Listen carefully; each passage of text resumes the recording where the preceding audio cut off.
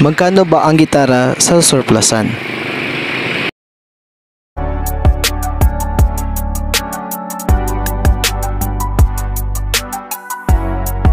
For this video guys, may pupuntahan tayong isang store. Agdao Davao City, Philippines. Ito ang kanilang signage. Pumasok ako sa kanilang store at pagpasok ko, bumukad sa aking mata ang kanilang maraming bike sa labas ng kanilang store. So ito pala ay for sale. Kung naghahanap ka ng murang bike, pwede ka dito. So pumasok ako sa kanilang store guys at may mga nakita akong ah, keyboard. May white, may black, may blue. So ah, mura din ito. Kung may budget ka, pwede ka pumunta dito. Ah, okay, na good condition naman ang kanilang mga keyboard. So sa kabilang dako, may nakita kong isang piano.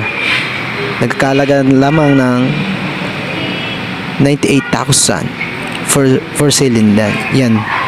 May 17,280, may 29,800 for sale din yan.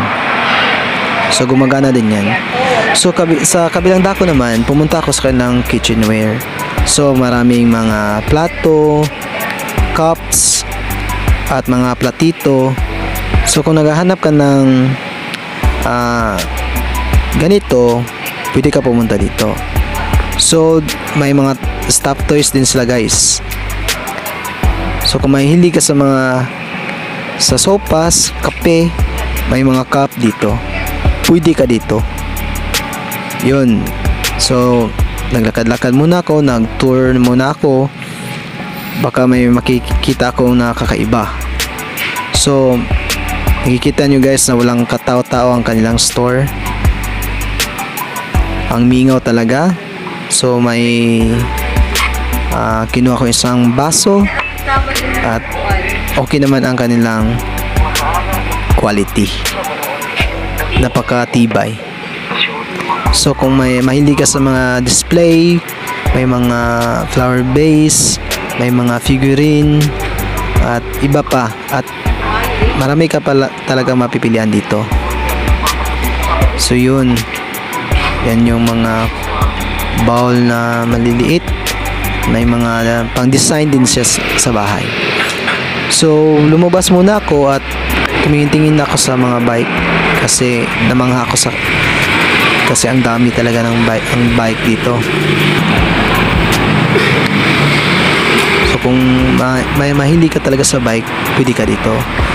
Ah, Nagkakalaga siya ng 3,500. Kung may pera ka, may bike ka na.